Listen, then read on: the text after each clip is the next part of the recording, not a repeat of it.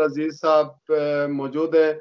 बरतानिया के leading businessman है पाकिस्तान इंटरनेशनल ह्यूमन राइट्स के यूके में चेयरमैन है और UK Europe Pakistan business forum के भी चेयरमैन है। मैं इन्हें अपने इस प्रोग्राम में वेलकम करता हूँ। अस्सलाम वालेकुम सर। वालेकुम चौधरी अज़ीज़ साहब आपके वक्त का बहुत शुक्रिया। ये फरमाइएगा कि पाकिस्तान की जो इकॉनमी है उसके तो बहुत बुरे हालात है।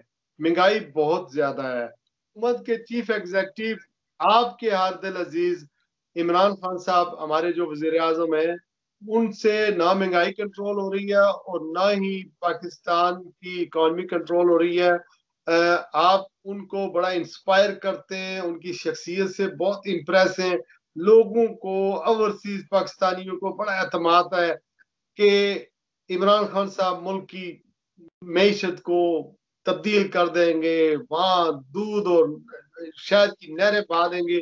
जिस तरह के उन्होंने एक अखलाकी तौर पर अपने जलसों में इंतबी जलसों में उससे पहले एक जो स्टैंडर्ड सेट किया था, लेकिन अनफॉर्चुनेटली उनसे ना महँगाई कंट्रोल हो रही है और ना माशी तौर पर हम मज़बूत हो रहे हैं। आम आदमी तो पिस रहा है, मैं पाकिस्तान में रह कर आया हूँ, बहुत बुरे हालात हैं। अपोजिशन के जो हमले हैं, वो भी अपनी जगह मौजूद है। लेकिन आम आवाम जो है, उनके, उनका भी जो इमरान खान साहब के बारे में या हुकूमत के बारे में जो ख्याल है, वो जो लोगों ने वोट दी थी जो सपोर्ट कर रहे थे, उनके व्यूज़ भी मुझे बदले हुए नज़र आते हैं। आप अभी तक उनको सपोर्ट करते हैं और इकॉनमी के बारे में आप क्या कहेंगे? शराज साहब, बहुत शुक्रिया। सबसे पहली बात जो ये है कि मैं इसमें कोई शक नहीं कि इमरान खान साहब को सपोर्ट करता हूँ। लेकिन मैं सिर्फ़ इमरान खान साहब को सपोर्ट नहीं करता, मैं हर उस पाकिस्तानी को सपोर्ट करता हूँ, जो मुहिब वतन है और अपने मुल्क के बारे में सोचता है और मुल्क के बारे में अच्छी सोच रखता है और मुल्क को बेहतरी की तरफ़ लेके जाना चाहता है। अनफॉर्चुनेटली हमारा जो पाकिस्तानी माशरा है, उसमें हर फर्द ये समझता है कि रात को सोए और जब सुबह जागे तो पूरा सिस्टम जो है वो चेंज हो चुका हो। हमने बहत्तर सालों में जो पाकिस्तान में जिस तरह हमारे इकनॉमी हालात है, मैं किसी पे क्रिटिसाइज नहीं करना चाहता, लेकिन जैसा कि आपको पता है कि हमारे मुल्क में कितनी ज़्यादा करप्शन है और माजी की हुकूमतों ने कितने हालात ख़राब किए हुए थे और मुल्क कितना कर्ज में जो है वो डूबा हुआ था। इसमें कोई शक नहीं है कि इमरान खान ने सबको जो है एक उम्मीद की किरण दिखाई और उन्होंने कहा कि मैं इसको बेहतर बनाऊँगा। लेकिन हर शख्स ये सोच रहा है कि जब आज इमरान खान की हुकूमत आई है तो कल जो है वो सारा कुछ पूरे मुल्क में जो तब्दीली हो जानी चाहिए। ऐसा नहीं होता है, इसमें वक्त लगता है। जैसा कि आपको पता है कि नबी करीम सल्लल्लाहु अलैहि वसल्लम ने जब इस्लाम की तबलीग शुरू की तो उनको जो है वो तेईस साल लगे। उसको पहले जो है वो, पहले अरसा जो मक्का मुकरमा में और बाद में तेरह साल जो है मदीना मनवरा में, उनको सारा कुछ सेटल करने में तेईस साल लगे। तो इस इस तरह जो है वो इस्लाम फैला। मैं क्योंकि नबी करीम सल्लल्लाहु अलैहि वसल्लम के मुकाबले में तो बाकी दुनिया को कोई लीडर तो हो ही नहीं सकता, ना ही तो हम सोच सकते हैं।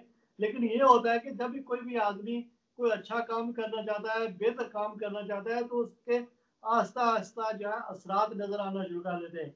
उसकी मैं एग्ज़ाम्पल आपको ये दूँ, और सबसे जो खुशी की बात है सबसे बड़ा मसला जो हमारे माशरे में ये है कि हमारा जो अक्सर मीडिया है, उसकी जो फंडिंग बंद कर दी गई है, उनके इश्तहार बंद कर दिए गए। मैं सभी मीडिया की बात नहीं कर रहा, लेकिन अक्सर मीडिया की बात कर रहा हूँ।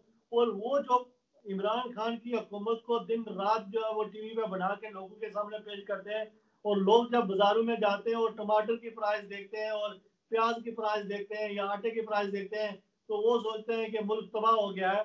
और इसके अलावा ग्यारह जमातें जिन्होंने पिछले पैंतीस साल से मुल्क को लूटा है, उन पे जो करप्शन के केसेस हैं, नैब तो मौजूद थी सभी ने उनके केसेस भी जो उन्होंने एक दूसरे पे बढ़ाए हुए थे, लेकिन वो आज़ाद नहीं थी।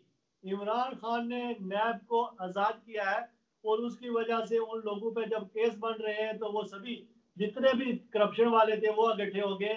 और एक जो पूरा माफिया है, और सिर्फ़ वो यो लोग नहीं है, सियासी जमातें नहीं है, उनके साथ और लोग भी थे जो ब्यूरो, ब्यूरोक्रेट हैं या बाकी महकमों में हैं। तो वो पूरी एक टीम थी उन लोगों की। और वो सभी जो है वो एक साजिश हो रही है इमरान खान के खिलाफ के इसने मुल्क को तबाह कर दिया है, ये नालायक है, ये हो गया है वो हो गया। है लेकिन एज ए बिजनेसमैन मैं आपको बताता हूँ, सबसे जो आम बात है जिसी, किसी भी मुल्क की देखी जाती है इकनॉमी तौर पर, वो ये है कि उसका करंट अकाउंट देखा जाता है।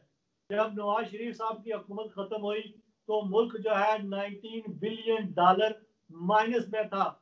जो करंट अकाउंट था वो माइनस में था 19 बिलियन डॉलर इस वक्त वो 19 बिलियन डॉलर जो है, वो उन्होंने पे काट दिए हैं और इस वक्त प्लस में है।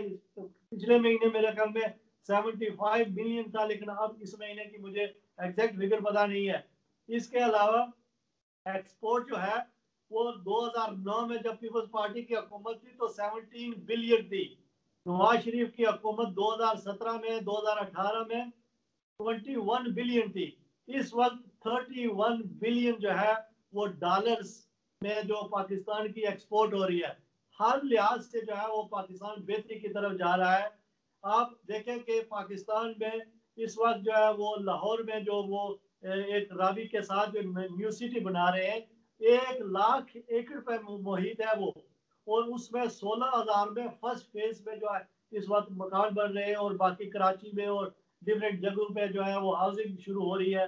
और इसको चूँकि अदालतों में जो हमारा निज़ाम था, सत्तर साल का बिगड़ा हुआ निज़ाम था, उसकी वजह से उनको डिले हुई और दो साल लगे। लेकिन अल्हम्दुलिल्लाह आप देखें, इस वक्त पिछले महीने की आप सेल्स देखें सीमेंट की तकरीबन 21 परसेंट सेल्स में इजाफा हुआ है। सरिये की सीमेंट में 19 परसेंट इजाफा हुआ है। इसका इसका मतलब ये है कि हर लिहाज से जो है वो मुल्क बेहतरी की तरफ़ जा रहा है। पिछले चार महीनों में गवर्नमेंट में नेशनल बैंक से एक रुपया भी उधार नहीं लिया है। इसका मतलब ये है कि चूँकि जनरली क्या होता था कि हर महीने हुकूमत जो है वो ने, नेशनल बैंक से जो है पैसे लेती थी उधार लेती थी। लेकिन पिछले चार महीनों में एक रुपया उन्होंने नहीं लिया है। इसका मतलब ये है कि मुल्क बेहतरी की तरफ़ जा रहा है और इस वक्त जो के पी के में और पंजाब में इमरान खान ने जो हेल्थ कार्ड इशू किया है इसकी वजह से आप अभी देखना कि हेल्थ में जो है वो बहुत बड़ी चैनिंग आएँगी लोग प्राइवेट अस्पताल खोलेंगे उसके साथ रोज़गार भी मुहैया होंगे लोगों को बेहतर से बेहतर हेल्थ का निज़ाम भी मिलेगा और हेल्थ हेल्थ का जो प्राइवेट और गवर्नमेंट का जो हेल्थ का सिस्टम है उनका आपस में कंपटीशन भी होगा और उस लिहाज से हर तरह के के लिहाज से इंशाल्लाह जो है वो बेहतरी आएगी। तो इस तरह अगर आप देखें जस्ट लाहौर शहर की मैं आपको बता दूँ 335 अरब रुपीज़ का जो ये बजट है जो अभी उन्होंने फ़र्स्ट फ़ेज़ में जो शुरू किया है इस वक्त।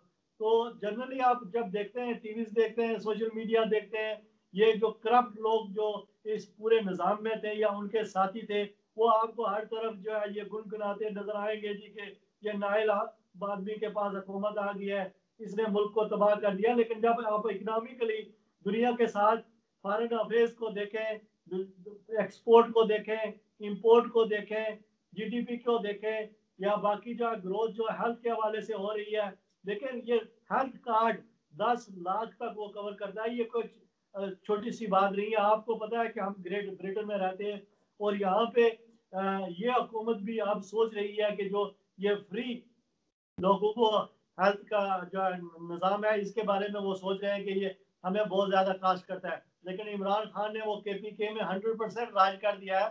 और इस साल पंजाब में उन्होंने फिफ्टी परसेंट किया और अगले साल इंशाल्लाह वो हंड्रेड परसेंट हो जाएगा। लेकिन मेरा ख्याल है, जिस तरह इकोनॉमी हालात पाकिस्तान के इस वक्त जा रहे हैं इनशाला इनशाला अगले पाँच छः सालों में जो है उसके रिज़ल्ट आने जो है डेफिनेटली हंड्रेड परसेंट शुरू हो जाएँगे। और जहाँ तक महँगाई का तलक है, इसमें कोई शक नहीं है कि महँगाई आपकी बात बिल्कुल दुरुस्त है, लेकिन उसकी वजह यह थी कि ये हमारे जो करप्ट लीडर थे, ये बाहर से कर्ज लेते थे उस वो क्या करते थे? पेट्रोल पे, इलेक्ट्रिक पे, गैस पे, फ़ूड पे, वो सब्सिडी देते थे और इस तरह ये आर्टिफिशियली प्राइसों को जब वो नीचे रखते थे। लेकिन इस तरह जो है वो मुल्क नहीं चला करते। इसमें इमरान खान ने आकर वो सब्सिडी खत्म कर दी है, जिसकी वजह से जो है चीज़ें बहुत महँगी हो गई है। मेरे ख्याल में, मेरी राय में ये इमरान खान को कोशिश करनी चाहिए कि वो थोड़ा सा जो है, खास करके खाने पीने की चीज़ें जो है उनको उनको कंट्रोल करना चाहिए ताकि जो है गरीब की जो ज़िंदगी है वो बेहतर हो सके। लेकिन जनरली आपको बताऊँ कि पाकिस्तान अल्लाह के करम से बहुत बेहतरी की तरफ़ जा रहा है और मुझे उम्मीद है कि अगले पाँच सालों में इनशाला हिस्टोरिकली जो पाकिस्तान तरक्की करेगा इनशाला दुनिया देखेगी वो। चौधरी अब्दुल अज़ीज़ साहब काउंटर आर्गूमेंट भी है, लेकिन लोगों को सुबह से शाम तक वो ये देखते हैं कि टमाटर जो है वो कितना महँगा हो गया है उसके अलावा आलू की क्या कीमत है दालें कितनी महँगी हैं सब्ज़ी कितनी महँगी है बाकी घी की क्या प्राइस है आटे की शुगर की इन चीज़ों को देखते हैं और लोग जो है वो अपना फ़ायदा देखते हैं कि आज मुझे क्या फ़ायदा है। आ, अगले पाँच साल में क्या होगा छह सालों में क्या होगा सब्सिडी ये ये तो सारी चीज़ें आप मीशत के लिए देख रहे हैं। लेकिन आई होप कि आपकी बातें दुरुस्त हों और पाकिस्तान की कौम भी समझे और जो हुकूमत को गिराने के लिए जो इंतज़ार पैदा किया जा रहा है और फिर माफिया जो बैठी हुई हैं, वो भी अंडर कंट्रोल आए और मुल्क के हालात सुधरे। आपका बेहद शुक्रिया। आइंदा इंशाल्लाह अगले प्रोग्राम में आपसे मिलते हैं। अल्लाह हाफिज। शुक्रिया थैंक यू